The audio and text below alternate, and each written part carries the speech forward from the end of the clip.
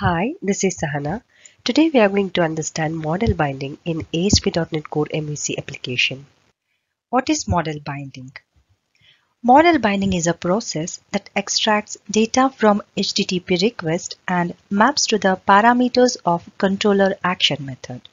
If you are finding it difficult to understand the definition, then don't worry, we will make it simpler.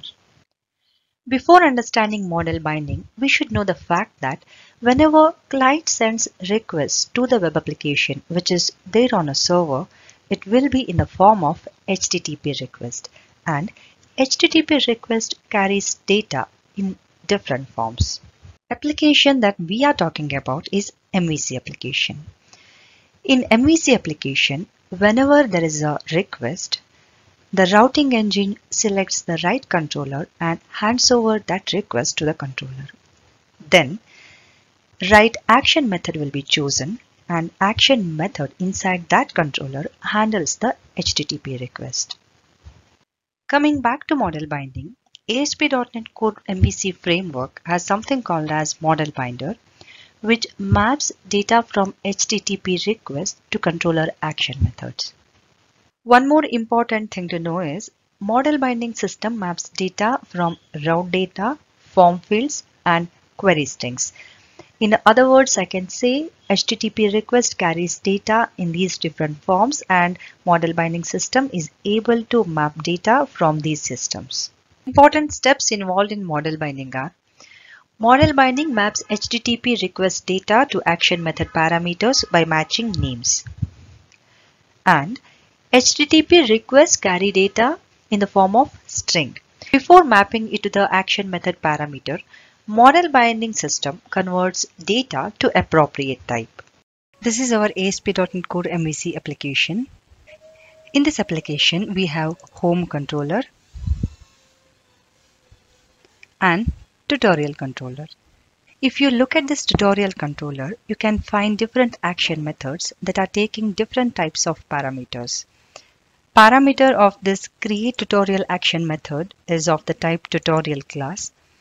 If you see this edit tutorial, this method is taking integer type ID. The same goes for this method which is taking type which is taking input of the type tutorial. This is our application. When I click on tutorial, we can view tutorial data as well as we can add new tutorial, edit and delete.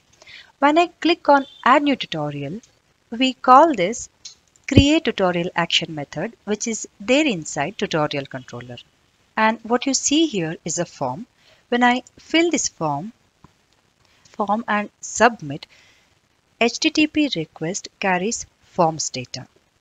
We are going to test it now. I have filled some random data and I'll click on submit.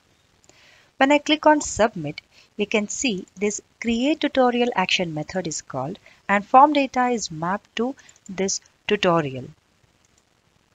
You can see description is testing model binding and name is testing model binding and it has added new data. We have seen how model binding system maps form data. Now let's see how model binding system maps route data. Now I'll click on this edit Here, can you see tutorial? Tutorial is the controller, edit tutorial is the action method and this is a route data. When I click on edit, this edit tutorial action method is called and ID 3 is passed. Again, this mapping is done by model binding system. Now I'll show you how query string data will be mapped. What I will do, I'll add one more parameter by name query string data. Again I'll click on edit. This time ID is 3 but query string data is null because we did not pass anything that matches this name query string data. To pass data as query string, I'll write question mark then write this query string data. If I hit enter, again this edit tutorial action method is called and see Instead of null, this time I'm query string data is mapped to this parameter query string data. And 3 is mapped to ID. Let's try to pass data by some other name and see what happens. I'll remove this data and I'll hit enter. See, this time nothing is passed. Query string data is null.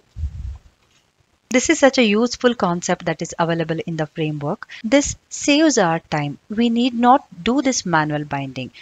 Framework itself does this job for us. What we have discussed in our today's session is default model binding. If you want, you can customize this behavior. We call that as custom model binding. We are not covering that in our today's session. I hope model binding is clear. Thanks for your time. If you haven't subscribed to my channel yet, do subscribe to my channel. See you soon in the next video. Thank you.